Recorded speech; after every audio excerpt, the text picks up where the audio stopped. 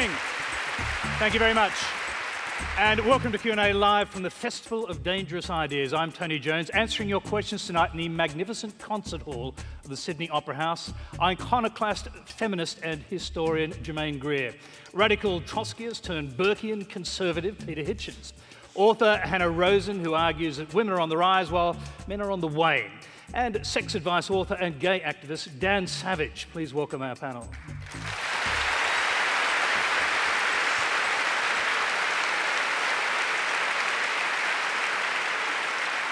Thank you. And as usual, we're being simulcast on ABC News 24 and News Radio. And you can join the Twitter conversation with the Q&A hashtag that just appeared on your screen. Our first question tonight is from Tim Wright. My question is for Peter Hitchens. You have described yourself as an observer and record keeper of the collapse of Western civilization. To what extent is your resignation to defeat a lament for the passing of a world where moral absolutes still existed, hierarchy and order was respected, and nuclear families were the cultural norm? Is it not desirable that we have moved out of a world of black and white into one of technicolor? Wow. Peter Hitchens. Well, the first, the first summary of my opinions is absolutely right. But what that has to do with a world of black and white and a world of technicolor, I'm not quite sure. Uh, you, you seem to be suggesting that somehow a world in which people don't fulfill their obligations to their children, uh, desert their marriages, uh, don't keep to the laws, uh, are, are, increasingly selfish and, and, follow their own desires and, and abandon all kinds of ideas of, of self-restraint and patience is a better world than one where those things actually ruled. And I don't agree with you. Uh, the fact that the world is technicolor, the fact the world is, is technicolor and full, of, and full of drugs and people who get drunk and people who abandon their husbands and wives, it doesn't seem to me to be an improvement. And it strikes me that it's time somebody said that actually this isn't necessarily a turn for the better. But in any case, when you're discussing all these, all these changes in our lives, you can't return to the past. It's futile to even attempt to. What we're always doing, all the time, is discussing what we're going to do with the future. At the moment, we're very busily choosing the wrong future in which some of us and all of our children are going to live. Hey, it's uh, a Peter, good thing we didn't bring our champagne out here. We actually considered it. yes. Peter, uh, you've obviously uh, bemoaned the decline, the moral decline of Great Britain. I mean, is it, is it the decline of Christian values that you're talking about primarily? Well, Christianity more or less collapsed in Europe after 1914 and the First World War. And uh, when it ceased to exist, all kinds of other things rushed in to take its place. But mostly what's rushed in to take its place is what I call selfism. Uh, the idea that we are all sovereign in our own bodies, that no one can tell us what to do with our own bodies, that everything that we do is okay, uh, provided we think we aren't harming anybody else. Uh, quite often the truth is that we are harming other people, but we're hiding it from ourselves. But who gets to decide what's corrupt? So, you know, drinking, drugs, gay sex? I mean, sort of where do you draw the line? Well, what seems totally arbitrary. Where, where, where, do you draw the line? You draw, you, you, you draw the line fundamentally, as far as I'm concerned, around about the Sermon on the Mount and those instructions given to us. And I have absolutely no shame in saying that I believe that the Christian religion was the greatest possession which the human race had, which it's now, in large parts of the world, rather busily throwing away. I, am a firm believer in do unto others as you would have them do unto you. I just think there's more doing unto that's possible in my philosophy than in yours. Well, I, I know that. I think you, you, do, you do an awful lot of things consent, unto other people and indeed to yourself. Consent I, matters that, and That's harm your matters. affair, but it's not, it's not the same question. Consent matters and harm matters. If there's consent and no one is being harmed, it's no one's business what an individual chooses to do with his or her body. Yes, but. no, no, no, it's, it's, it's, such, it's so essential to answer this. The people who say that they're not doing harm are almost invariably deceiving themselves the, the, the, people who divorce and say, oh, the children are happier as a result. And the government should rush not. in to prevent person, people from being self-deceptive, if that's indeed what they're doing? The teenager who takes drugs and becomes mentally ill and ruins his own life and that of his parents is doing harm to other people. But at the time they do these things, they say, no, my body is sovereign. I, I am a, a, completely autonomous person. I don't harm anybody else. We lie to ourselves about this all the time. I lie to myself about it. You all lie to yourselves about it. You lie to yourself about Wait, it. So we know that we harm other people, but we harm Let, let me go to Germaine Greer. We haven't heard from Germaine yet. Uh, do you see any evidence of moral decline in the West? Uh, no. Uh, but I think what we have to be aware of is that there's another uh, spiritual and intellectual system that is rejecting the West and rejecting it in no uncertain fashion. Um, at the moment, we're involved in this terrible business in Egypt where Morsi, who was elected by the Egyptian people, is now going to be tried, and we're pretending that somehow he wasn't elected. Now, we have got to confront that fact that ordinary Egyptian people were Salafists and fundamentalists, and they rejected the Western way of life as fundamentally corrupt. Now, I don't stand on the same side as Peter because I think that the patriarchal system was corrupt, that it was a license to exploit and humiliate and oppress women and children.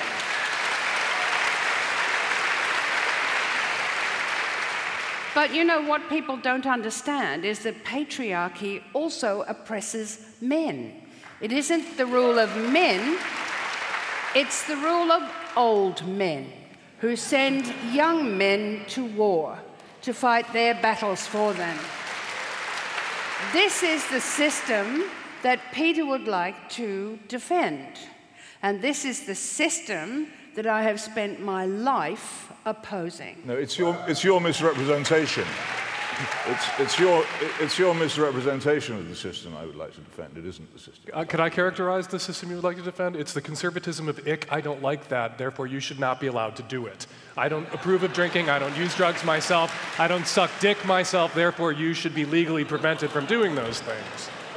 Well, which isn't that's radical. Yeah, that is and, not conservative. And, what is, and, what's and what's so brilliant about that? Because there are things I think that, I give we, a see, that, that we see around us that, that we do They're not. Pretty brilliant. There are things that we see around us that we do not like, and if we don't act to stop them, then we're we're we're, we're guilty. But I don't of, like it isn't a good place. enough reason yeah. to use yeah. the force of the state to stop it. I don't like cunnilingus. I'm not going to use the force of the state well, to prevent I, that from happening. I, it's fantastic. The, the, the ease, the ease with which someone can fill a room with laughter by, by, by just being rude and unpleasant. I'm not, okay, no, I, I, I'm not being rude. I'm carrying it. It's not, Dan, it's not, Dan, I'm it's gonna not particularly Peter, clever. Peter, just hang on. No, I'm no, carrying no, your argument to its logical extreme. So I'm we not take being your rude point, for no reason. your points, as it were. Now, we've got another question, and we're going to continue the discussion based on the questions. The next question comes from Boren Is it? Uh, with the growing trend of internet hookups, sexting, and the prevalence of apps which combine smart devices with GPS tracking and offer the closest potential suitor for a quick, cheap, and purely hedonistic encounter, we have armed our generation with all the tools and platforms to normalize a culture of instant gratification. Is society so driven with personal pleasures that we're eroding the values of human relationships and reality based interactions? Dan, let's start with you.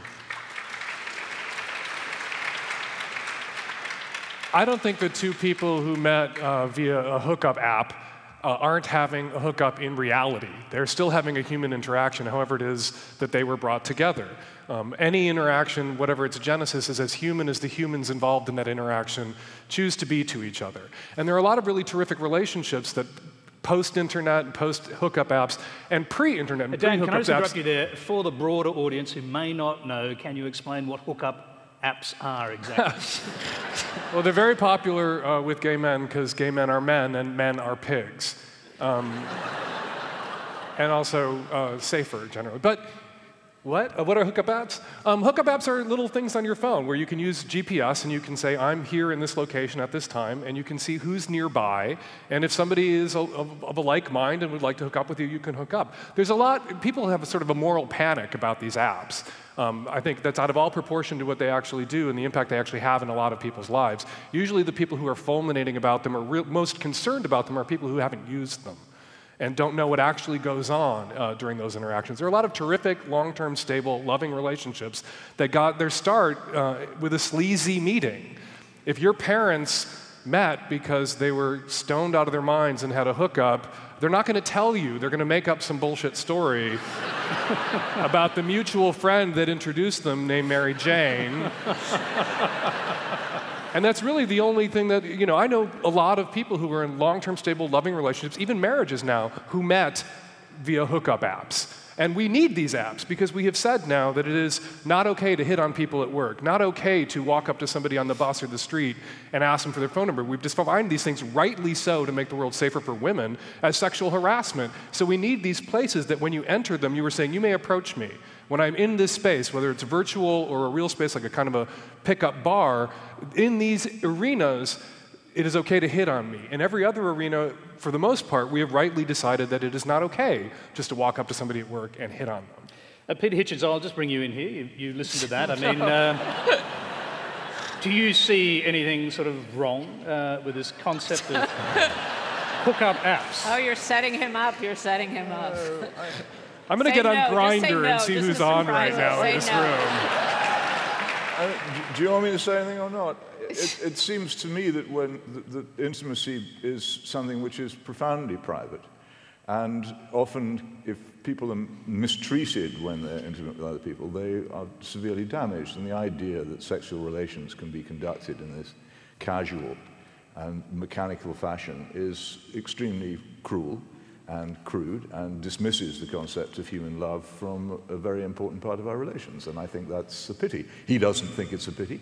Uh, he wants a crude and, uh, and as far as I, I'm, I'm concerned, individualistic, unrestrained, And the and, and, and, can emerge from totally selfish world. There is a definite difference between me and him. I'd just like to emphasize it. I think a society that I think uh, I- Society, society in Peter, which his Peter. ideas rule will be one you will very much regret having created. I, I think that is becoming clearer, the difference. Yeah, well, I just wanted to make it but, uh, let me, absolutely let me hear, plain. I think it's pretty clear. Uh, Germaine, The, the interesting part of, of the question was about instant gratification. Uh, because what is the mechanism that has told us all that we can have instant gratification? You want something, you can have it, you can have it now. It's called advertising. And the advertising of prostitution is pornography, which tells you the same thing. Sex is difficult. Sex is a blood sport. You can be hurt. But pornography tells you you can have gratification without running any risk at all. You don't even have to converse. You don't even have to be laughed at. It's safe as houses. And this is the kind of sexuality that it has been promoted for the last 50 years. Now, it's interesting that what the app is doing is saying, go out, make a contact. And it's leading you into an area where you might be safe from misunderstanding. I think you're still running a risk. But I think our kids and we have got to understand that sex is not bland. And what worries me about your scenario is it seems rather bland. It is still dangerous out there, and you have to go with courage. You have to go with love. Um, the idea that love is something that you feel for somebody you have within your ambit, who is in your power, there was a time when we understood that inequality negated love, that love could only exist between equals, that once one person was under the thumb of another, there could be no love, only submission. And this is where Peter and I would absolutely differ. Okay, um, I'll let you get back in on that in a minute, Dan, but there's a specific question uh, for Hanna on this subject. comes from Bridget Meany. Hanna Rosin, you are a strong advocate of the hookup culture and suggest it has been an engine for female progress. What authority do you feel you have to speak on the optimum sexual lifestyle of all women of different class, socioeconomic levels, culture, values, and religion, and their respective progress? Do you feel your views discredit as unempowered women who exercise their choice to limit their sexual activity to that of a monogamous relationship? You're a monster. Um, what authority do I have? Just extensive experience in the hookup culture. Um, I'm just kidding. Hookup culture came before my time. You did go to study, study this phenomenon, though, didn't you? Deeply, yes. I deeply studied the phenomenon. I would say that that's a mischaracterization of my position.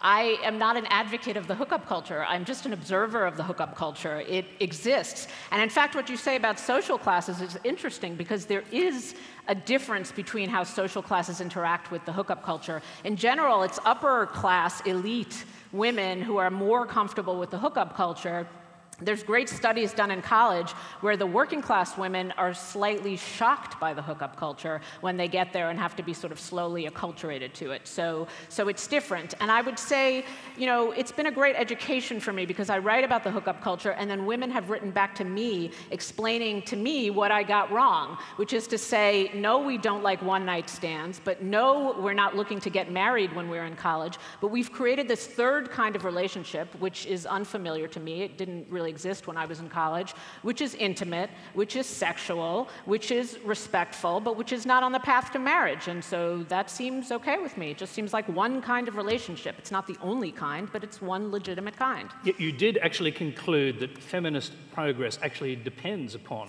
this hookup Yeah, I culture. mean- I suppose that's why Yes. people take the view that you are an advocate.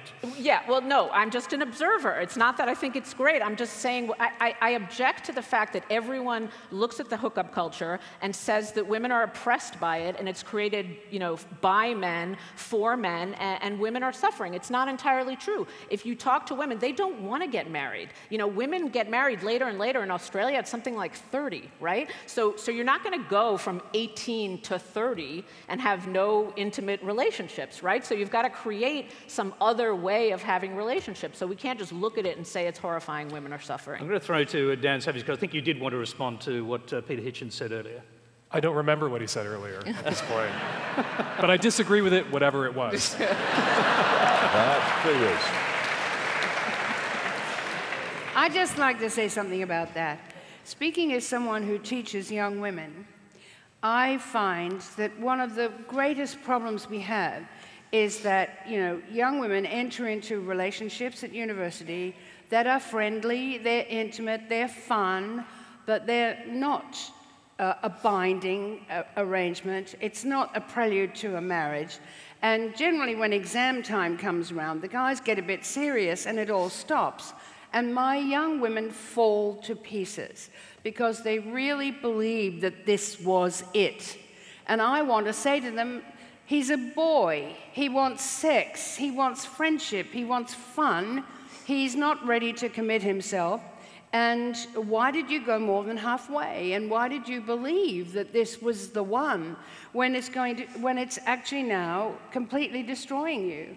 Um, I'm happy for women to be less self deceiving in encounters that are themselves fun and sexy. Um, and you never know, sometimes you're still seeing the same guy 60 years later. I am. But you, you, don't, you don't seriously believe that there aren't young women out there who want fun, who want sex, who want companionship, And who are not destroyed at the end of a relationship. who are not, it's Well, not that I'm- all women are trading sex for male attention. There are women out there who want sex. Well, I understand that, but they overvalue, they misinterpret the signals that they're given. Uh, because um, shacking up, you know, having, a, having a, a regular boyfriend is now important even when you're in high school. When you're 15, 16, you get dumped, you lose prestige in your group, and people will beat up on you for that. I mean, it's. It, our young women are sexually active uh, way, be- beyond, way before they're supposed to be, and they enter into this really complex system of relationships that they systematically misinterpret, partly because they're very young, and they take punishment. And I hate seeing it. I hate seeing them utterly égaré, uh, completely distressed because of what has happened, because the young man has moved on, Can gone I, away. can I just say two things? One to what Germaine said some, a little while back, uh, which is that I would maintain absolutely that, that marriage can be and most often is a partnership of equals and not a, a relationship of dominance. And so to the, to the people on the other side of the table, I say you are making a fundamental mistake. You are mistaking pleasure for happiness, and they are two very different things. I'm going to uh, move on because There'd be a very long answer to that, I've no doubt, but we've got other things to talk about. We've got another question. It's from Erica Nook. Knock. I beg your pardon. Um, my question's for Germaine. Um, while women today are extremely competent and have achieved high levels of education and workforce participation, as a young woman in my 20s, it's still apparent that there's quite a large gap between the two genders in many regards of their lives, but in particular in relation to pay, um, household duties, and the decisions women have to make in relation to families and careers. So, my question is what do you see as the key factors over the next 10 to 20 years that will bring us closer to that point of equality? If you don't mind, Germaine, I'll throw that first mm. to Hanna because she's actually written a book pretty much on this subject, um, which is called The End of Men. Um, so you take us in that direction first, and then I'll go back to Germaine. Um, so, so you are getting to the heart of the matter, right? So, so there are these differences in caretaking. Uh, there are these differences in, in pay, but the long-term trend is that you know women's pay increases and increases and increases, and men's pay decreases and decreases and decreases over the course of the century. And so, so you see that sort of women are getting more dominant, stronger, are, are, are sort of you know uh, it, it's changing for women. So while there are still gaps, it's really changing for women. Now the one thing is the caretaking. Uh, that's that's what I come to at the end of my book is we need to create sort of more space for men to do things in the domestic sphere without judging them for that, which I think we are doing. You know, we are doing. It's, it's starting to happen. Now, your book actually looks, it seems to me, mostly at post GFC recession America and the mm-hmm. shift that's going on, where we've actually seen women become the largest group in the workforce. Is it just an American phenomenon you're talking about? No, it's not just an American phenomenon. It looks different in different countries.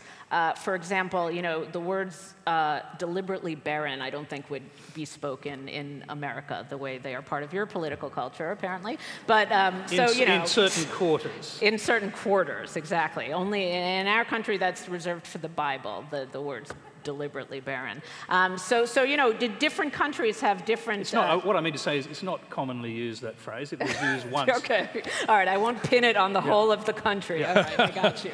Probably I a good idea. You. Yes, except that your current prime minister also said that women were, you know, physiologically uh, not suited for leadership. So, you know.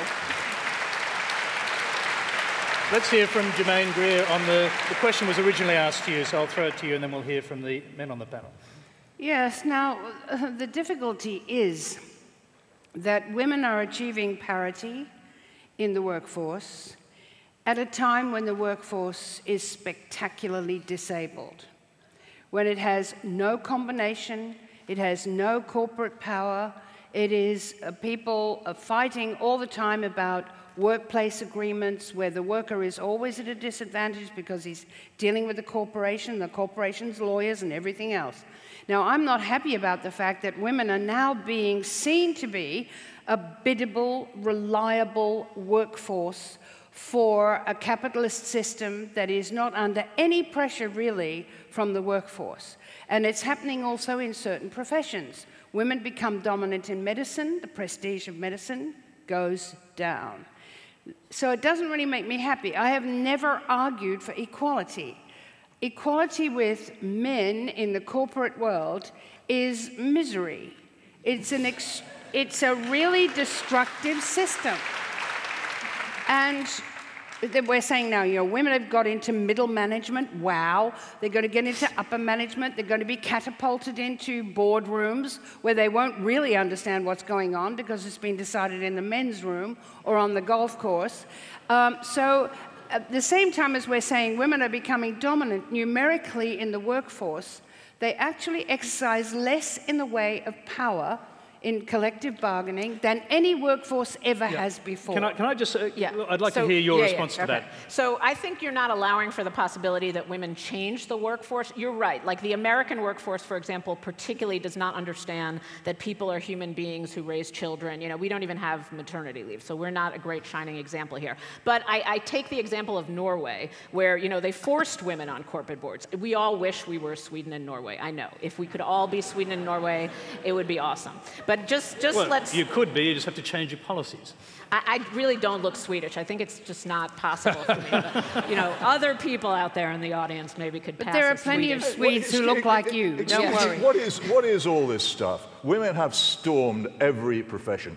Women run the BBC in Britain. I expect they run the ABC in Australia. They, they, they, they, do, they dominate huge areas of professional life. The, the struggle for equality in education and professions was won decades ago. And that's a what is- what problem? is Like, is really a problem? fascinating what is really fascinating is this extraordinary alliance between radical leftist feminists and corporates, multinational business, which is probably the most sinister and cynical alliance since the Nazi Soviet pact, and under which, under which these, these, 60s, these 60s leftists applaud as millions of women are marched into wage slavery uh, and exploitation by corporations. The people who, who claim that women were being exploited by, by marriage and by raising children don't raise a whisper against the immense exploitation of women by, by, by, by corporate business, not a word. And this endless, continual, ceaseless denigration of the most important and responsible task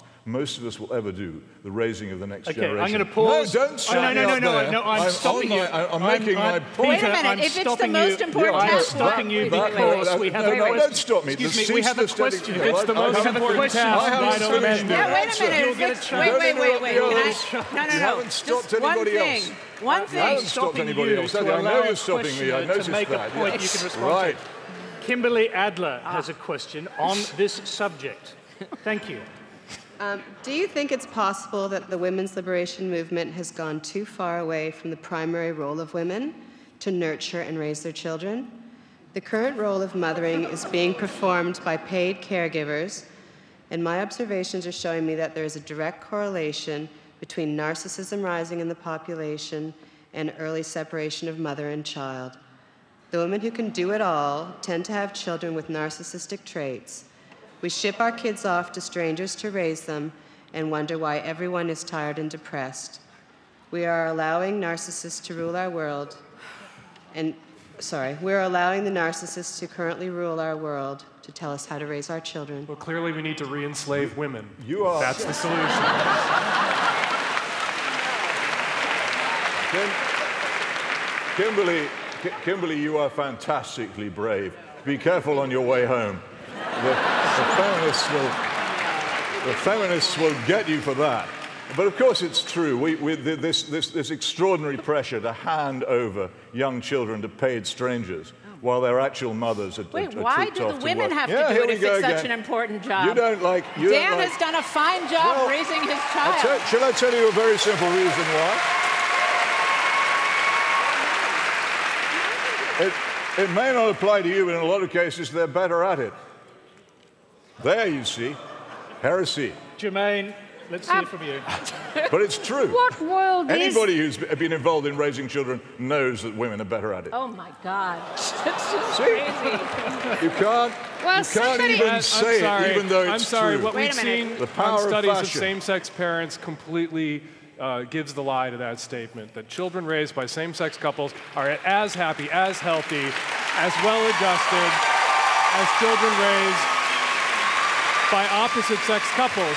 And included in those studies are children raised by gay male couples, as my son has been raised, and they do just as well because what matters is love and nurturing and safety and protection and caring adults who are invested in you, not parents with particular genital sets. Okay, our questioner would like to get back involved. Kimberly. You guys like going on Sorry. like genitals in I think my point's been a bit misunderstood. My husband actually stayed at home for six months to raise our child. It's not about the mother or the father, it's the fact that a parent is home to raise the child, to teach that child empathy and compassion for others, and bring community together to work on the problems that are coming forward. Narcissistic children lack empathy and are selfish. And that's what I'm seeing being produced by children whose mothers aren't able to I'd like to see them. the data as opposed to Yeah, the yeah, I mean, the- anecdote Hanna, and Hanna, Hanna, I saw you nodding earlier during that question. So, um, which parts did you agree with? Whoa, I don't remember which parts I agreed with. I must have had a head. Um, try, try, to keep your dinner down. yes. No, I, I, um, I, uh, I object because I think the, the problem today is not uh, the lack of time that parents spend with their children. Uh, in fact, time use studies show exactly the opposite. That, that in this culture where women work more, we spend more hours with our children than we used to. I, I, I totally understand parents should raise their children. That doesn't mean they have to be with them all day, every day. I mean, you can come home at five o'clock and you know have a nice dinner with your child and, and nurture them and love them. I mean, what the, the, it's it's the hours that you spend that are going to turn them into a narcissist. It just, you know, I think a stay at home mom has just as likely a chance to turn her child into one thing or another as a working mom. What's, what's the difference? Germaine. I'm quite interested in the whole question of turning your children over to other people to raise, because my feeling is that we're way short of the amount of uh, preschooling that we need and nursery care that we need. But I also seem to remember an English system where children were sent away to school, to boarding schools, and it, it bred a generation of rulers of the entire British Empire. Uh, what, was, what was different then? Well, what, what, are, you, are you saying I'm sitting here defending that? I haven't said a word about it. I'm against it. And, uh, and well, on it's the, a bit on, late on the, now. On the it's principle. over. Well, I, it's, it's, it's, you brought it up. You brought it up. You suggested I was in favour of it. I say I'm against it. Future generations will look on our treatment of children as we look on the Victorians for sending, for sending children up chimneys. They will be amazed at the cruelty and neglect which we showed to our children when we were so rich. Can I quickly ask you uh, the question that was raised there was whether children are becoming narcissistic. And uh, so, uh, do you have do you agree with that? I, I, I, have no idea whether they're becoming narcissistic, but I think a lot of them are, are, are becoming seriously unhappy. Dan. I want to see some data. Like we yeah, can sit like, around and we can just assert that a certain kind of family structure that's kind of been imposed on all of us by the economy. Um, but, but that stay-at-home parent thing was really an aberration. That there was a time in the 20th century when one person could earn enough money to support a whole family, to buy a house, and maybe a second home and a car, and go on vacations. And that was an aberration. I also don't think a that luxury. Also a luxury. That you know, there's been few moments in history where any, where both where parents could afford to stay home. That's a sort of modern luxury. It's Okay, let's move along. You're watching uh, Q&A at the Festival of Dangerous Ideas. The next question comes from Mitchell Grant. Uh, my question is for Peter Hitchens. Uh, you have said that the demise of the UK Conservative Party is inevitable and necessary in order to weed out what you call useless Tories. What do you think it will take to revive conservatism in Britain? Are far right populist parties necessary for such a revival? And lastly, does Tony Abbott, our Prime Minister, represent lost conservative values that you would support? Or is he just an Australian version of the demise of conservatism that you see in Britain? The, the, the, last bit first. From what I can see, Mr. Abbott is very much on the, on the lines of, of, of modern fake conservatism. That is, uh, quite a lot of, of, neoliberalism about the economy, a far too close association with Rupert Murdoch, uh, and uh, a fair amount of a fair amount of rhetoric about, about moral conservatism close to elections, accompanied by doing nothing whatever about it when he has the chance to do so. I, I, I, think that is a general characteristic of conservative parties who have, have for many, many years in, in the Anglosphere countries been betraying their supporters in that way. And not merely, not merely them, but the, the supposedly left-wing parties, the Labour parties of the Anglosphere, have, have also been betraying their conservative-minded supporters. They have become factions of, of metropolitan bourgeois bohemians who couldn't care less about the conditions of the poor uh, and who are merely concerned with the, the, the, luxury, the luxury lives they live in, in, in, the, in, their, in their capital cities. And so there is a complete divorce between what many people want out of life and what their politicians decide. In terms of the British Conservative Party, if you really want to know, I mean, the, the best thing that could possibly happen to it would be that it split and collapsed. And, and I do all that I can to hurry this on because nothing, nothing could be, uh, it, it, it, nothing could be worse than it. I could carve a better political party out of a banana than the British Conservative Party without any difficulty indeed. But, but the problem is that in, in, in, in, the, in our system, and I think in yours as well, people vote tribally. And as long as people continue, as long as these parties continue to exist at elections, enough people will vote tribally to keep them alive. And it, only if they collapse that the, the conservative-minded people of, of, of, of your country and mine will realize they have actually got no friends in government. Peter, um, you, you did do whatever you could to uh, hasten the demise of the uh, Cameron government. Yeah, in not fact, very you, effective. Well, in fact, well, you, actually. you actually advised people, or your readers, uh, to vote for UKIP, which is a populist no, no, well, party. I- yeah, populist party primarily uh, anti-immigration in its basis. Well, I advised them to do that because they, I, I kept saying that they shouldn't vote at all, but they all seem to think that voting was some tremendously important process, which it, it, it- actually it isn't. If you go into a shop and you're offered a load of goods which you don't want to buy, you don't buy any of them. Uh, so why in an election do you vote for people you don't like? But- Germaine Greer, all right. Okay, we'll, uh, we'll bring Germaine in on that one-liner. Uh, for me, the greatest mystery is that Tony Abbott is a Rhodes Scholar.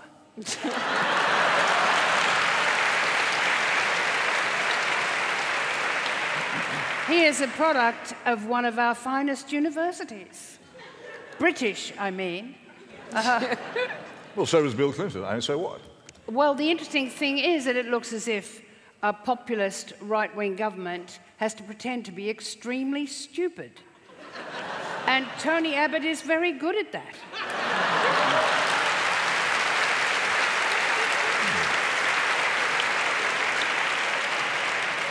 Well, Germaine, I mean, it's obvious you don't like him, uh, but the, no, the, seriously, it's not even like worth a laugh, in fact, because there are plenty of people out there who do like him, and one of the reasons, uh, particularly among men in Australia, they like him is because he's he's given up uh, political correctness and he's changing the nature of the country, or trying to. Well, are you happy about that? It's, it's not a question of whether I'm happy. I'm simply making a point. Well, why would any. You well, have to so, somehow you have to explain why he's won by a landslide. Well, the uh, complete shambolic nature of the Labour Party would seem to be a reason. And the, manif- the manifest crookedness of the Labour Party would seem to be a reason. And it just goes on proliferating. More and more people come out of the woodwork, more and more shady deals, which is a curious thing about Labour parties. They always get into trouble over things like property and shady deals involving shopping malls and stuff. Uh, whereas the Conservatives sort of plod on, and all they ever do is jump into bed with the wrong people, which basically makes us kind of like them. Dan, Dan, how does this look um, from your perspective in the United States? You've seen change of government here. It's very similar in many respects to the new government or the relatively new government in Canada. I just think that you're having your George W. Bush moment, and hopefully in a, in a few years you will have your Barack Obama moment. Hanna Rosin. Uh, well, uh, what, what's been fascinating to me to watch the sort of the Gillard Abbott switchover is, you know, in our country we, we do all our sort of racism and sexism in code, and here you do it kind of overtly, you know. So, so you know, she gets to call him uh, a, a prime misogynist, you know, which are words that Hillary Clinton would never use, uh, and uh, and then uh, he gets to say to her, what was the other fantastic thing he said? Oh, that she needed to make an honest woman of herself. That was the other fabulous thing he said. So you know, they, they, they do these these fights overtly. Okay, let's move on. We've got another question. It's from Amelia Turzon. As an Australian in her, in her mid 20s, I've grown up with iconic images of protest, rebellion, and flower power from the 60s, 70s, and even the early 80s. Yet I don't feel that I've experienced any of this ideology in my lifetime. Most people my age seem much more interested in buying the new iPhone 5 than they do in protesting against unjust wars or the corrupt global financial system. Am I correct to feel, as I do, that I've been born into a particularly conservative generation? Was I born without the will to question, or do I just have things too good to bother fighting for anything? Germaine, let's start with you.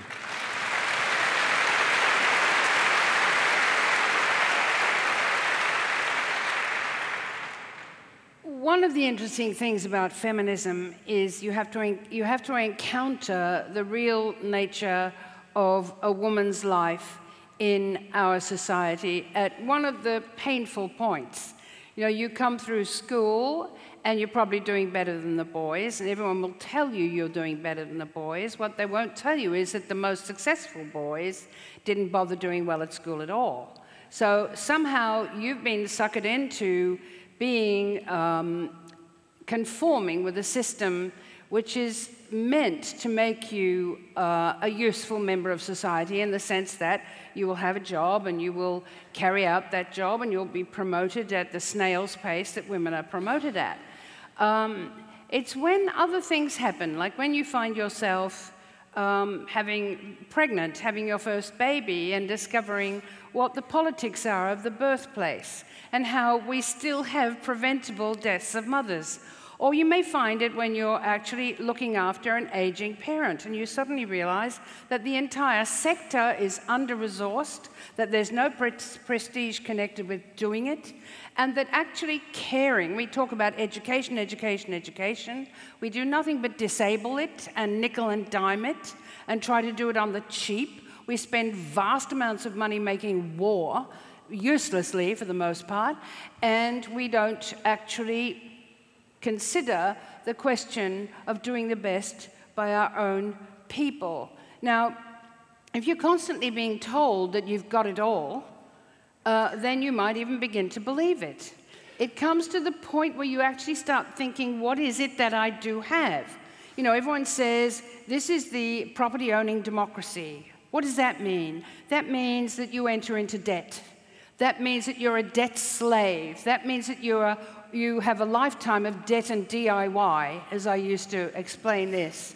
That you're actually, you've actually been tamed as a member of a body politic. You don't have a long term vision. No, you're actually being told that you need to think short term. You, everybody says it's what's in your pocket, it's what you can buy. Okay, Germaine, no one talks about a vision of the future, the, the, ever. The, the, question was about, the sort of, in a way, a sort of nostalgia for um, a kind of revolutionary period in the 60s, possibly the 70s. But, um, I, but she didn't have nostalgia because she wasn't there.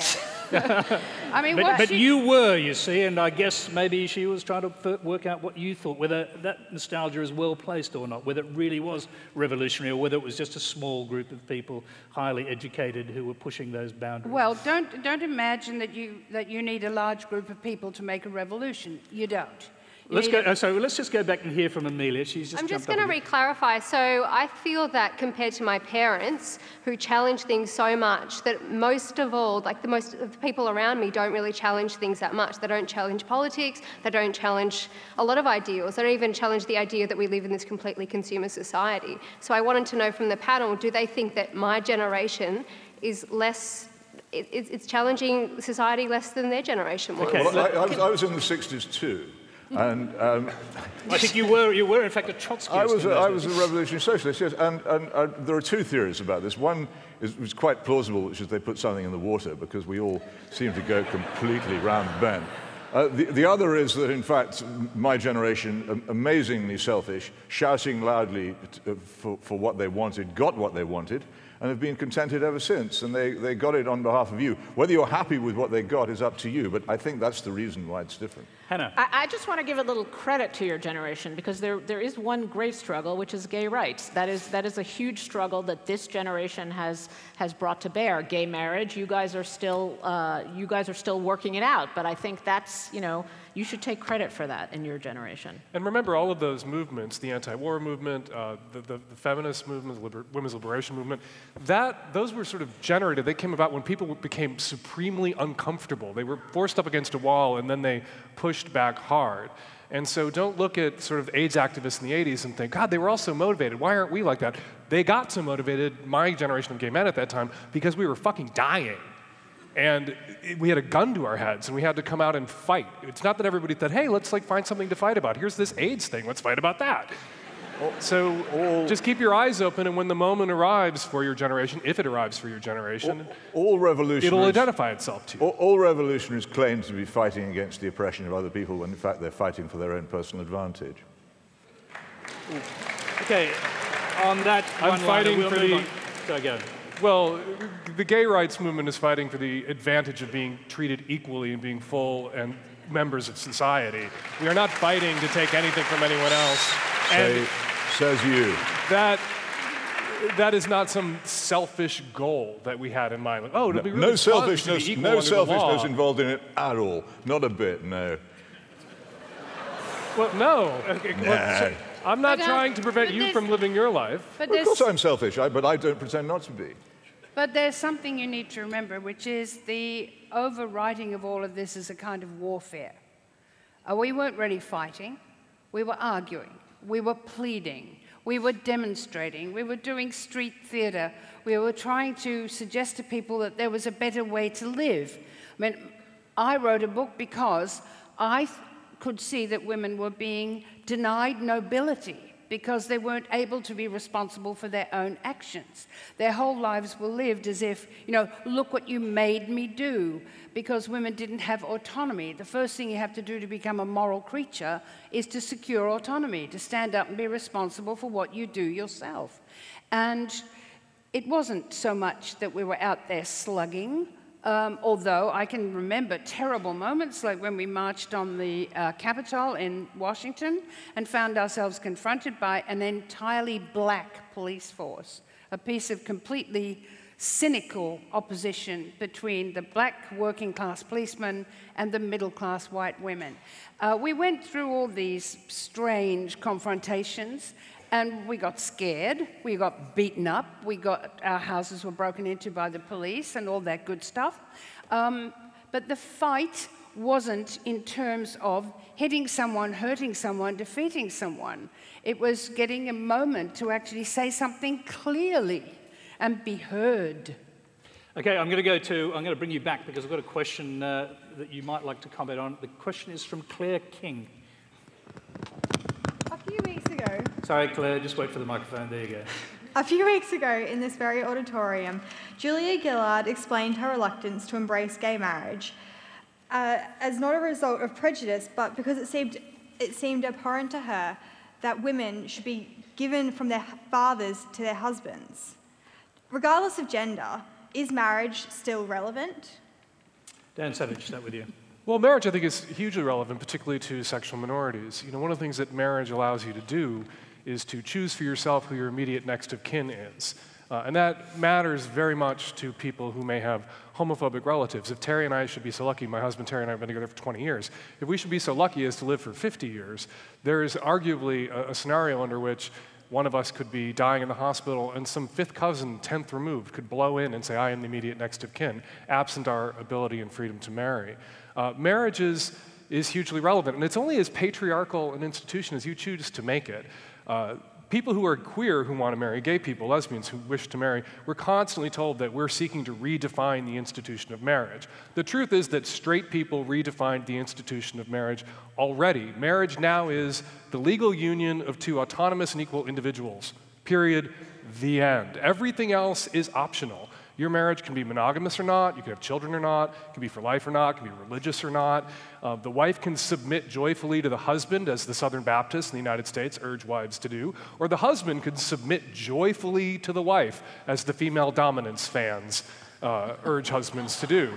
Two people get to create their marriage for themselves. So for Julia Gillard to hide behind a defunct and obsolete definition of marriage as some sort of sexist and patriarchal institution, which it once was and is no longer because straight people redefined it, I think is hypocritical and absurd and transparently horseshit.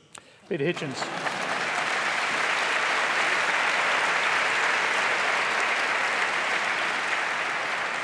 Diane, Diane Atkinson is absolutely right about one thing, uh, which is that heterosexual marriage has been redefined uh, to the point where it is dying very rapidly in Western societies. Uh, it's become easier to get out of a marriage than it is to get out of a car leasing agreement. Uh, and as a result, the, many people are not getting married in the first place. I don't know what the statistics are here, but in my own country, marriage is dying out as a thing which, which people do. Uh, and increasingly, it, is, it has been sidelined. And that is far, uh, it is, it is the, the crucial issue of the, the modern Western world as to whether marriage will survive as a relationship at all. I think it should. Uh, they probably think it, it shouldn't, but the, we're, I absolutely we're, think it should. I moving, we're, moving, we're, moving, we're moving towards a, a position where the only people who are interested in getting married are, are, are lesbian clergywomen. And I, I look forward to the, to the, to the day. Okay, no, when, no, I you- look forward to the day when the, Archbishop, when the female Archbishop of Canterbury is, actually- is married in a lesbian marriage to the female Archbishop of York. I actually think, I I think Hanna should speak to this because what we see now is a real class Because I'm a division. lesbian Because you're a lesbian clergywoman, clergywoman. because we see a real class difference on Yes. marriage. And when people have economic security to a certain extent and they have a good education, those people tend to marry and stay married when they marry. I'm sure you don't support strong unions, living wage jobs, economic security, and economic justice, but nothing would go further to strengthen the institution of marriage than those kinds of securities and equalities. Also, I have to say the nostalgia drives me crazy because the fact is that the working class is not getting married, and yet they, they are forced to cling to this ideal of marriage because everyone keeps telling them marriage is a thing, they have to get married, when we would be much better off if we did things like create social policies that treated three people who, say, lived in a house and had a child together and supported those people whether or not they were married. That's what America needs to do. We can't force people to get married, you know, through nostalgia. The force of nostalgia. Why, is why did not you gonna get married? Because you did, and you've got a number of children as well. because I, you know, I did what people do. I didn't think about it. I'm not a gay rights activist. I'm, you know, I just got married because people get married. You I got straight married. I got straight married. I just, you know, got married. Germaine? Well, I, d- I mean, I think marriage is a terrible system. Um, I think it's a terrible system for lots of reasons. We live too long, we change too much.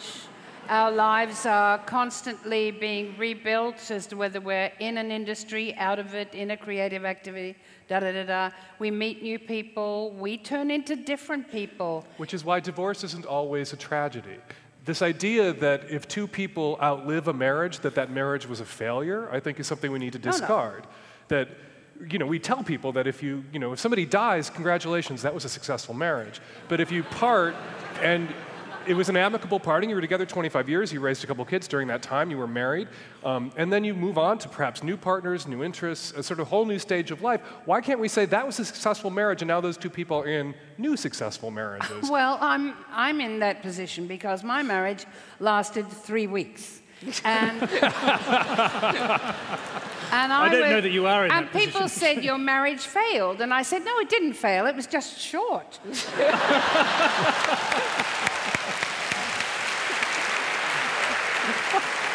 Okay.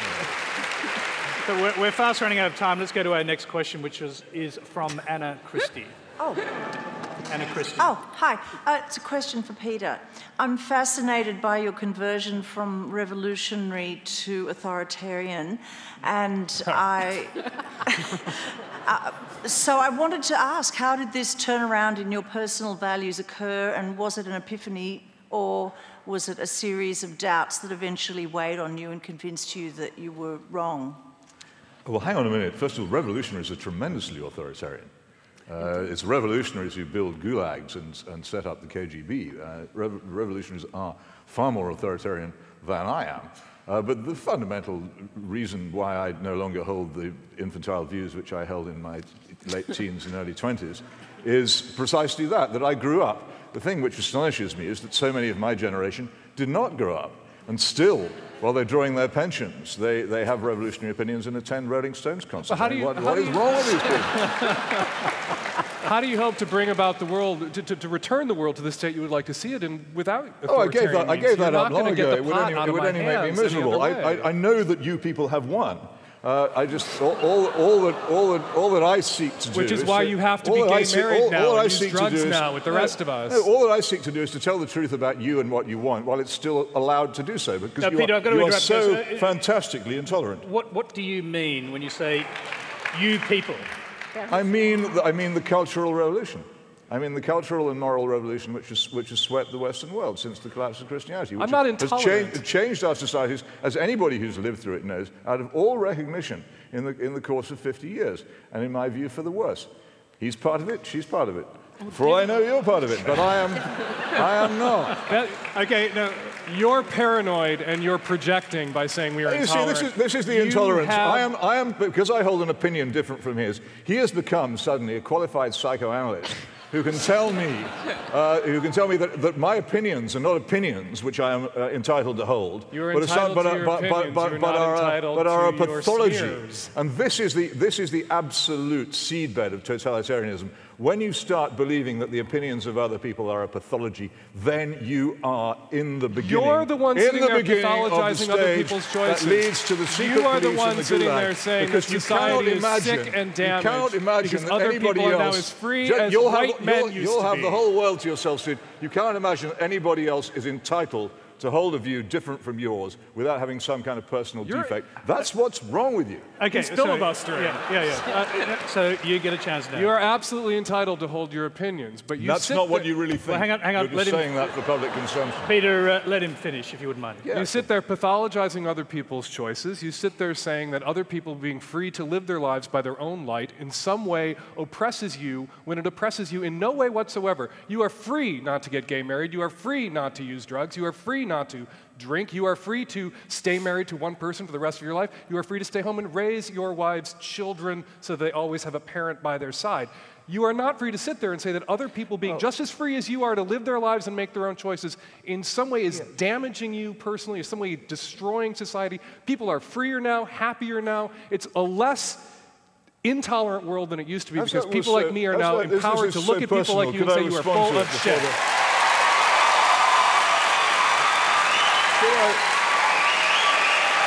Could I? It's a, it's rally. Okay. It's a rally. Hold on. We actually do need to I- why do you do this, Why do you do this, I can't talk. While, while you do that, while you do that, I can't talk, and you know it.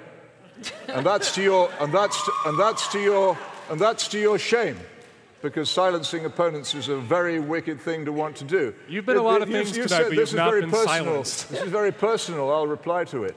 I am a very rich and fortunate person. I can, I can, and, I, and I'm coming towards the end of, end of my life anyway. I can personally escape many of the consequences of this.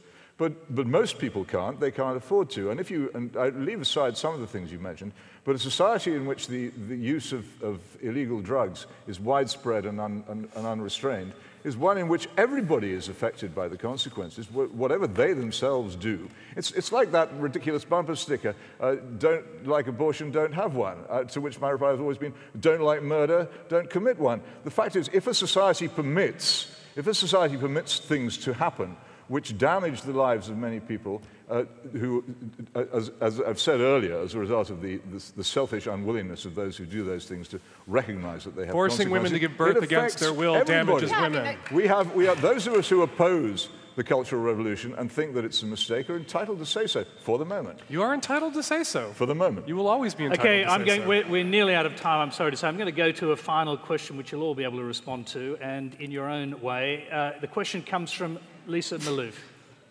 Which so called dangerous idea do you each think would have the greatest potential to change the world for the better if it were implemented?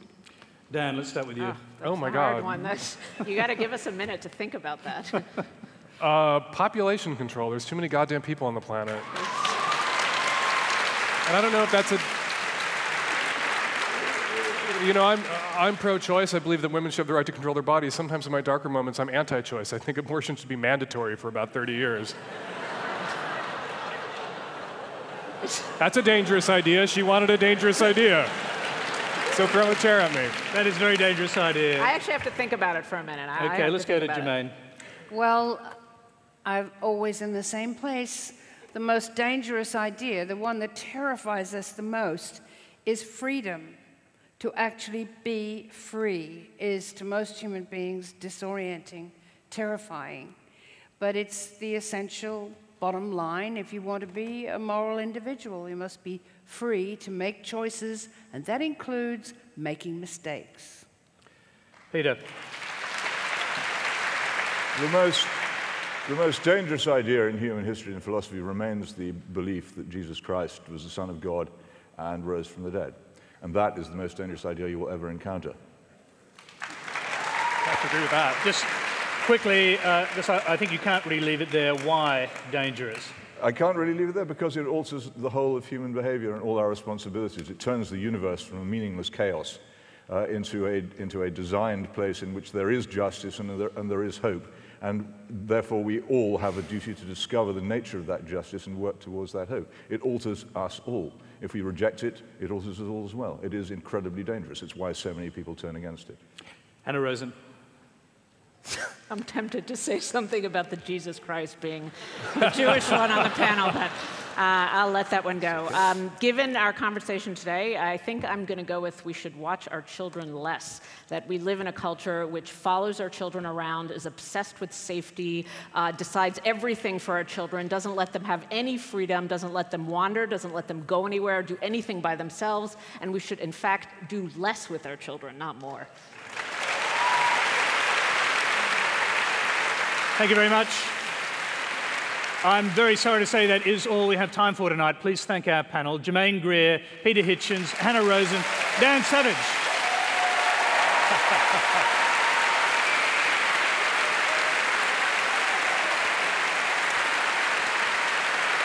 Thank you. Thank you very much. Thank you.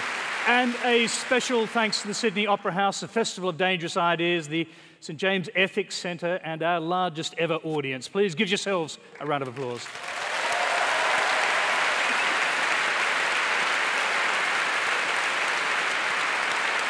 Thank you.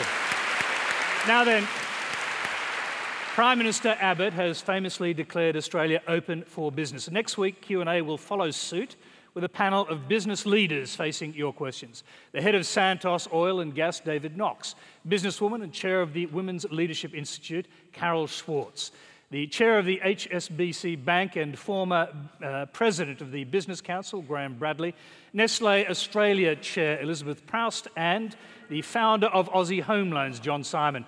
What would business leaders like to change about Australia? Join us on Q&A next week to find out. Good night.